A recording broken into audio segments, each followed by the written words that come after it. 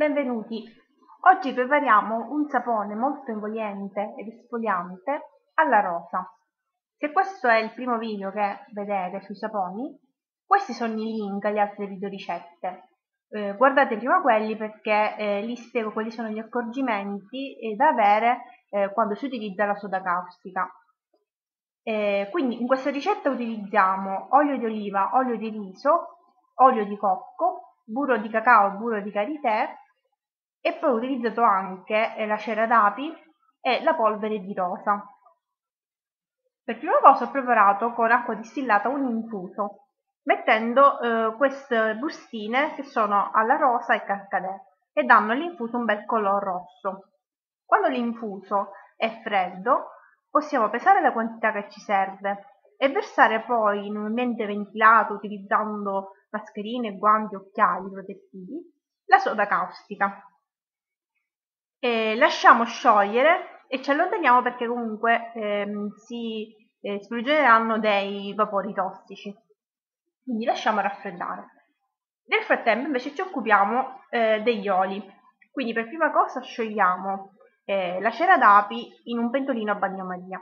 Invece in una pentola in acciaio inox inseriamo olio di cocco, olio di riso e eh, olio di oliva e facciamo sciogliere. Versiamo poi un po' di quest'olio caldo all'interno della cera d'api per favorire lo scioglimento. Non appena eh, la cera d'api si scioglierà possiamo inserirla eh, negli oli e mescolare per farla sciogliere completamente. Come ultimo ingrediente utilizzeremo il burro di cacao quindi lo, eh, eh, lo dobbiamo pesare e poi inserire agli oli. Ci servirà poi eh, un termometro perché dovremmo eh, assicurarci che eh, la fase eh, dove abbiamo l'acqua infusa e la soda e gli oli abbiano raggiunto entrambi i 45 gradi. Nel momento in cui sia l'infuso che gli oli raggiungono i 45 gradi possiamo unirli insieme e mescolare prima con un cucchiaio di legno e poi eh, con un mini primer fin quando si raggiunge la consistenza chiamata nastro che è questa. Al momento del nastro possiamo aggiungere gli altri ingredienti che sono il burro di karité che abbiamo eh, leggermente sciolto e poi eh, la polvere di rosa e eh, il colorante ocra rosa. Infine ho inserito anche eh, la fragranza elisir di rosa sciolta eh, in un cucchiaio di amido di riso.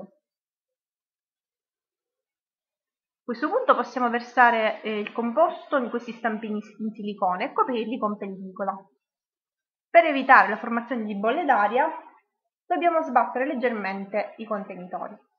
E in questa fase bisogna sempre utilizzare i guanti perché il sapone è ancora eh, caustico. Dopo aver coperto bene, mh, mm, dobbiamo tenere eh, al caldo, quindi anche con delle coperte sopra, per almeno 48 ore. Dopo queste 48 ore invece possiamo sfornare, possiamo sformare il sapone.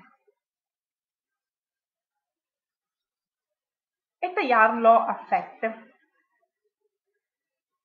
Spero che questa ricetta vi sia piaciuta, è un sapone molto emoliente dato che contiene eh, burro di cacao, burro eh, di karité, esfoliante perché contiene la polvere di rosa ed ha un ottimo profumo di rosa. La ricetta la troverete alla fine del video e eh, vi aspetto al prossimo.